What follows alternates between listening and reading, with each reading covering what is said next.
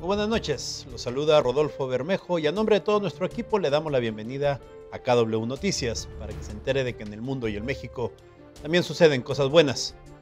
Gracias por estar de nuevo con nosotros. Recuerde que puede ver este noticiero ahora mismo por internet en nuestra página kwtv.com.mx. Estos son nuestros titulares. A pesar del fuerte sismo que se reportó en el centro del país, no hay ninguna pérdida humana ni tampoco grandes daños materiales. El candidato priista Enrique Peña Nieto aceptó el reto de someterse a exámenes toxicológicos y de polígrafo. Hoy se inauguró el diálogo regional por el gobierno abierto. Las madres mexiquenses de trillizos, cuatrillizos y quintillizos recibirán ayuda económica por parte del gobierno del Estado de México.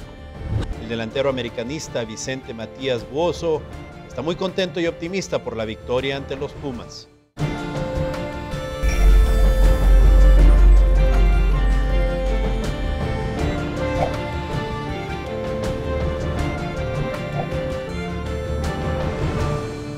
Ana Ocampo realizó un sondeo a la población que fue evacuada de las oficinas que están aquí alrededor del Ángel de la Independencia.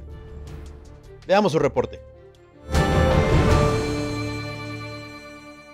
Se reportó un sismo en el centro del país de 7.8 grados en la escala de Richter hoy a las 12.04 del día. Estas son algunas de las reacciones de la gente tras el temblor ocurrido hoy a mediodía en la Ciudad de México con epicentro en Ometepec, Guerrero y frontera con Oaxaca. Mucho temor, la verdad, incertidumbre de saber si iba a salir bien liberado de, del edificio.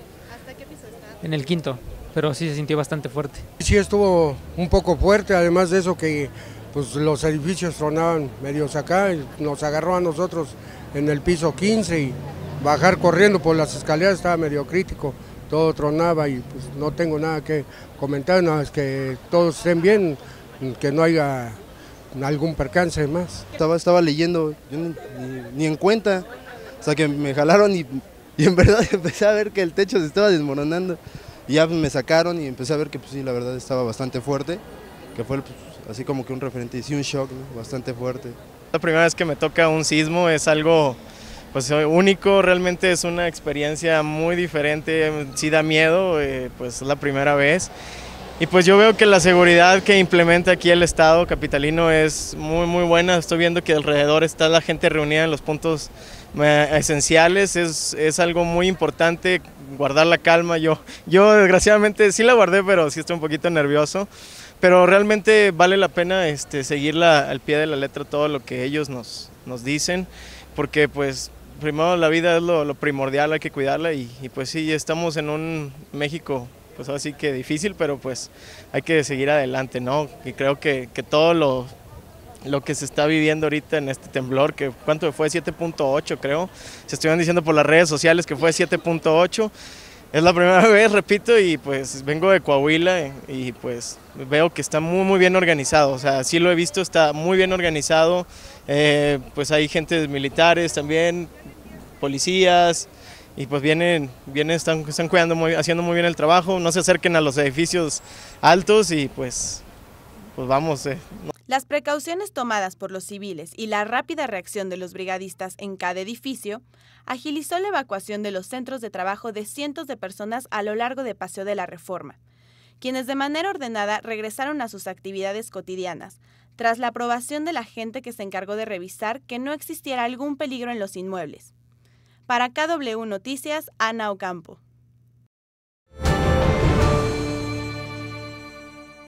Pasando a otras noticias, el candidato priista Enrique Peña Nieto aceptó el reto de someterse a exámenes toxicológicos y de polígrafo, con la condición de que sean pruebas aplicadas por expertos de la Universidad Nacional Autónoma de México. Veamos la información. El candidato de la coalición Compromiso por México a la presidencia, Enrique Peña Nieto, aceptó el reto de sus adversarios del PAN y de la Alianza Movimiento Progresista en la realización de los exámenes toxicológico y de polígrafo. Sin embargo, el mexiquense puso como condición que estas pruebas las realice la Universidad Nacional Autónoma de México. El priista propuso que todos los candidatos se practiquen los exámenes en la máxima casa de estudios para que los aspirantes no se hagan las pruebas a modo. Asimismo aseguró que cuando inicie su campaña estará presentando su declaración patrimonial. Por otra parte, hoy se inauguró el Diálogo Regional por el Gobierno Abierto, una propuesta para que los países trabajen con ayuda de la participación ciudadana en aspectos de transparencia y rendición de cuentas, así como en el combate a la corrupción. Veamos este reporte. Para combatir la corrupción y que la ciudadanía tenga nuevos caminos para el acceso a la información, México y otros países de Latinoamérica intercambiarán información y puntos de vista en un foro denominado Diálogo Regional por el Gobierno Abierto. Queremos saber cuáles son sus puntos en común y cómo podemos hacer sinergias que nos contribuyan a fortalecerlas. Por ejemplo, ¿Qué tipo de acciones y compromisos responden a los retos planteados por la Alianza y al mismo tiempo que fortalezcan el cumplimiento de la Convención? Y en tercer lugar, queremos fomentar el intercambio de experiencias y buenas prácticas en materia de acceso a la información, de la transparencia y la rendición de cuentas, así como de la participación ciudadana, para fortalecer la integridad y el combate a la corrupción en toda América. Durante los trabajos se tomarán en cuenta las propuestas de la ciudadanía en general para que haya agilidad en la información pública. Hoy se trata de tomar en cuenta la sociedad civil en el desarrollo, en el monitoreo y en la evaluación misma de las actividades gubernamentales. Ya está abierta la puerta a la sociedad civil. Es momento de que la invitemos a que se involucre con su gobierno, pero que sea un involucramiento informado, aprovechando las posibilidades que la tecnología nos proporciona. El embajador de Estados Unidos en México afirmó que el plan de información y transparencia servirá para fomentar que más naciones se involucren para que sus ciudadanos estén informados sobre sus gobiernos. Estados Unidos tiene confianza en que la sociedad del gobierno abierto continuará trabajando activamente durante los años venideros para ampliar la base de países participantes, implicar a la sociedad civil y el sector privado e inclusive ayudar a que más países adjudiquen reformas significativas que incrementen la rendición de cuentas.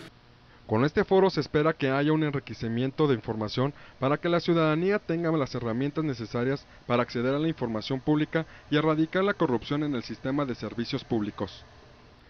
Desde la Ciudad de México, Lenin Gudiño, KW Noticias. Todos los días ponemos una frase positiva en nuestra página de Facebook. La de hoy dice así, el espíritu olvida todos los sufrimientos cuando la tristeza tiene compañía y amistad que la consuele. Es una frase de William Shakespeare. Los invitamos a que ingresen a nuestra página de Facebook y le den un me gusta. Mientras vamos a un corte comercial y les daremos al regresar la información de los deportes. Quédese aquí con nosotros.